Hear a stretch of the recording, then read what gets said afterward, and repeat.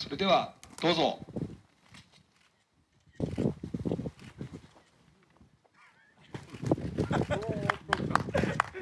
すいません。全長2メートル30センチの少年の像。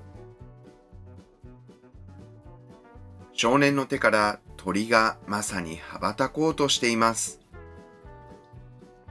6月26日、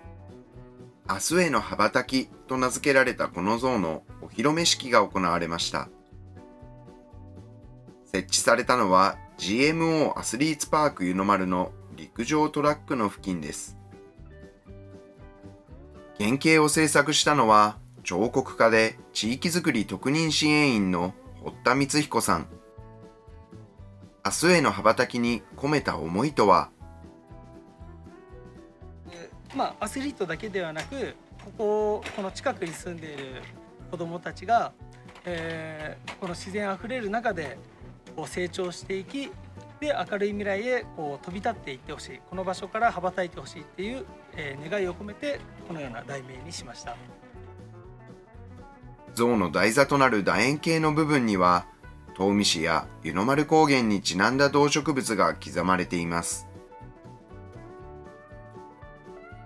ちらの像実は堀田さんが粘土でデザインした小さな模型を市内の企業今木エンジニアリングが 3D プリンターで拡大して成形したものなんです。プリントの層でできた溝をあえて残し 3D プリンターで作ったことを表現しています。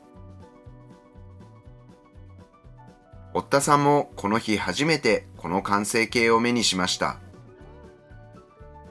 除幕してみた時になんか植物の新芽にしたらでかいですけどなんか新たな何かがこう生まれてこれから育っていくのかなってそのように思いました。